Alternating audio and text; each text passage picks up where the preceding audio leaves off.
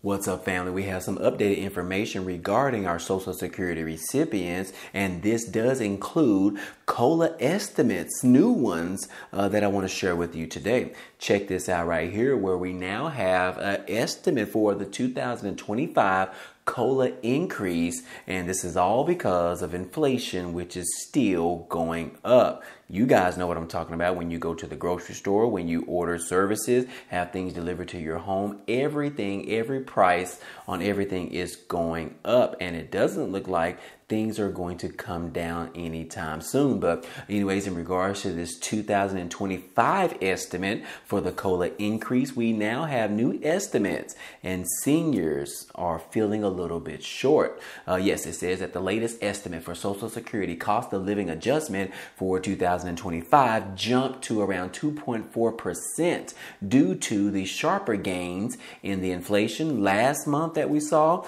according to the Senior Citizens League. You all know them. They are a nonprofit advocacy group, which uh, they are fighting for every single person out there on Social Security, including our seniors those individuals on SSI, SSDI, and VA beneficiaries. But anyways, as they stated that in January, the 2025 COLA estimate was around 1.75%. Now, because of the consumer price index or the CPI data that came out earlier this week, it rose to 3.2% for the month of February from just a year ago, according to the government data. And the so-called core rate which strips out volatile food and energy prices, rose 3.8% on the year. Uh, but, anyways, the subset consumer price index for urban wage earners and clerical workers, or CPIW, that COLA is based on rose two tenths of a percent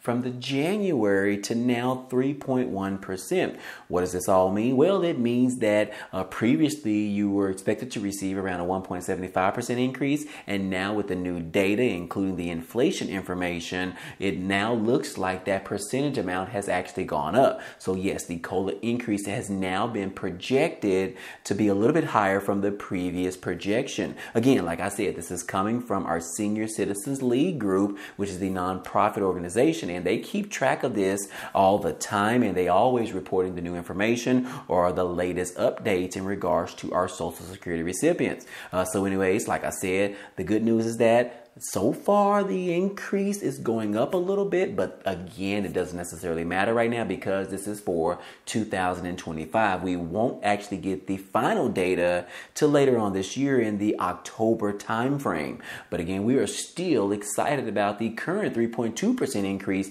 that we are receiving for the current year of 2024. Uh, but anyways, that is just a small update in regards to the COLA increase or the cost of living adjustment. But I do have another article article, guys, and I want to get your thoughts on this. But, uh, anyways, check this out right here where this particular pundit, a conservative pundit, uh, he is saying that retirement is a stupid idea. What do you think about that? This is the first time that I've actually seen someone call retirement stupid. Uh, I know it's probably hard for me to understand that because I grew up my entire life knowing and thinking in the back of my head that if I put in money uh, into this trust fund, that I'm going to get some of that back when I hit the retirement age to allow me to continue to keep up my same type of living.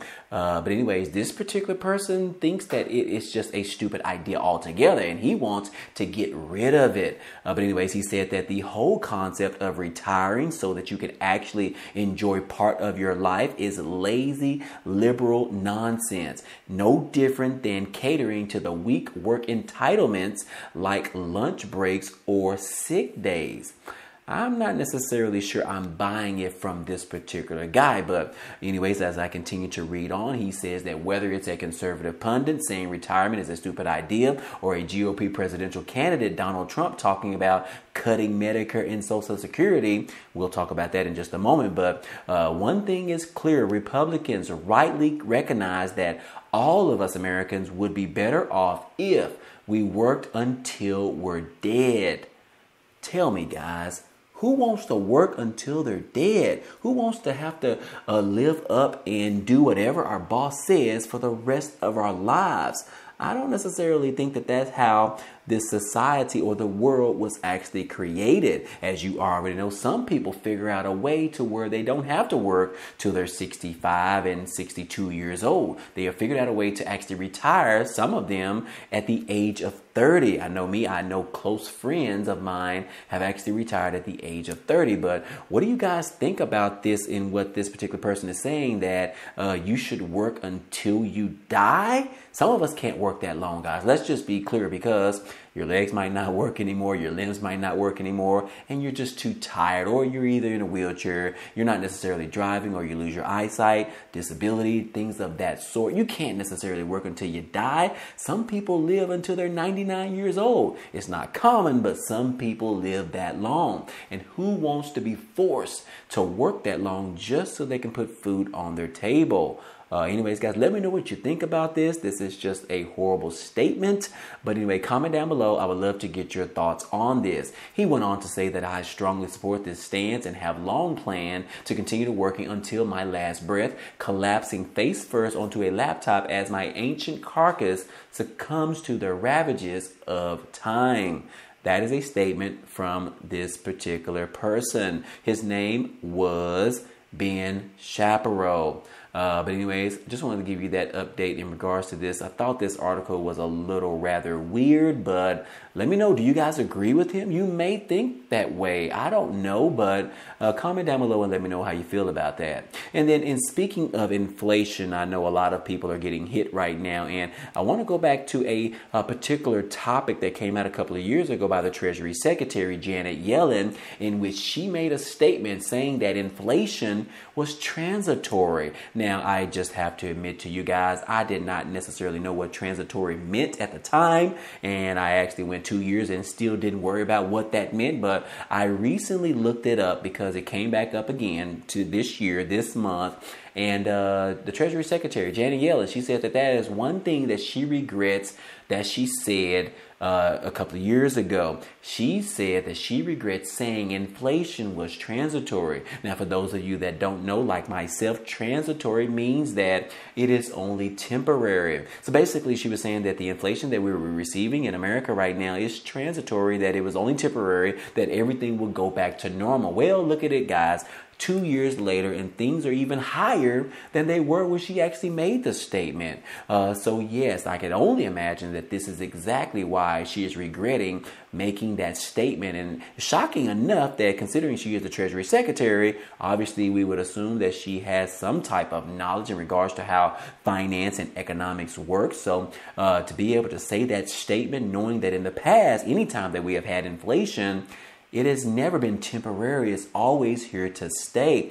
Think about how much you actually paid for a hamburger years ago. Wasn't it like 50 cents? Well, inflation has hit that hamburger for multiple years, and here we are today. Hamburgers are costing anywhere between $3 and $10. Or if you go to Five Guys, even $20. but, anyways, yes, Janet Yellen is regretting that she made that statement. And uh, yes, I'm sure that is very embarrassing for her to come out and have to admit that. Uh, but, anyways, moving on, I do want to go ahead and talk to you about some updates in regards to Social Security. Uh, previously, President Biden on the campaign trail of 2024 talked about how he wanted to improve and reform Social Security. Remind you guys again that he also talked about the same thing on the campaign trail when he was running for his first term as the President of the United States. And here it is. He has been in office for three years and still has done nothing for Social Security or for Social Security reform. And now, now that he is running for the uh, second term of the President, he is bringing it back up again,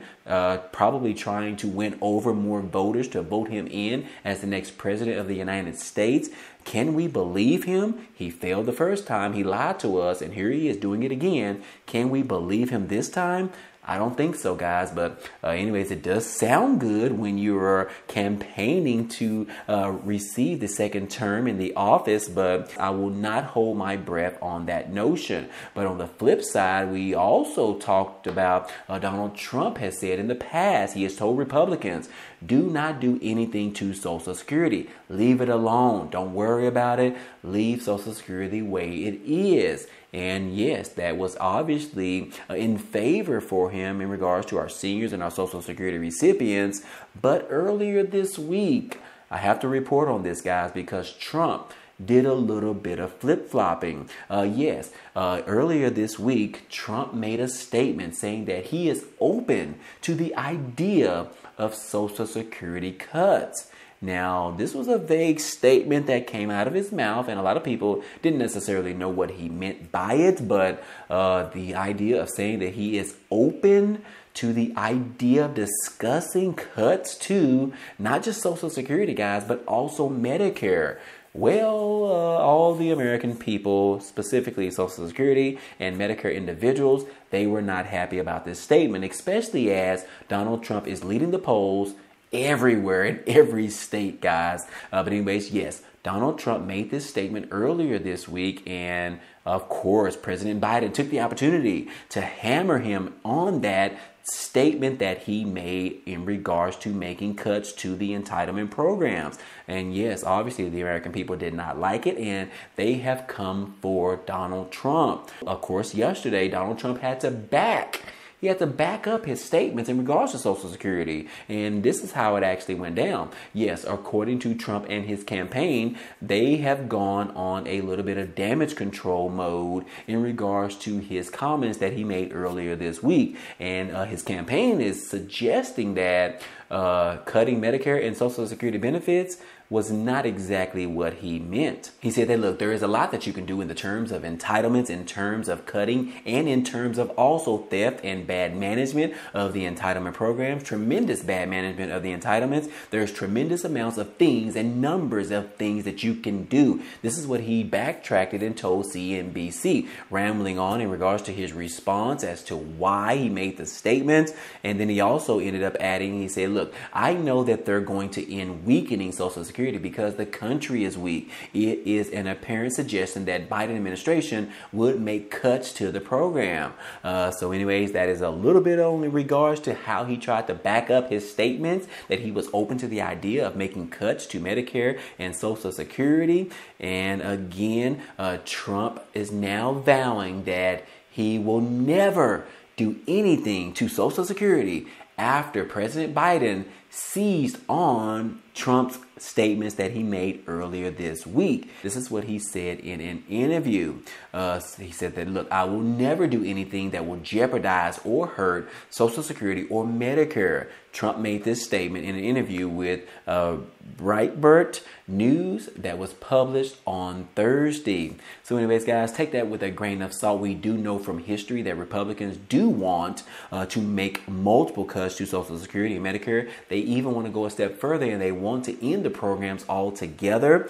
Uh, so that is in line considering that Donald Trump is a uh, GOP Republican. So it obviously lines up with them. But then you have on the flip side where liberals, uh, Democrats are always fighting uh, to increase the benefits for Social Security as well as Medicare. They also want to add more money to the trust fund. They also want to allow more individuals to be able to receive the benefits. Uh, so again, obviously that lies directly in alignment with President Biden and exactly what he is pushing for or when he is campaigning on the campaign trail. So obviously you do have the two sides and obviously you will use that information uh, when you go to the polling stations uh, later on this year. So uh, anyways guys, take all that information and make your own decision in regards to either candidate. I won't necessarily tell you which one to vote for. I know me myself, I don't like either one of them. I want someone else, but Unfortunately, we are stuck with these two knuckleheads once again. So, uh, anyways, guys, let me know what you think about this, especially that statement in regards to uh, retirement being very stupid.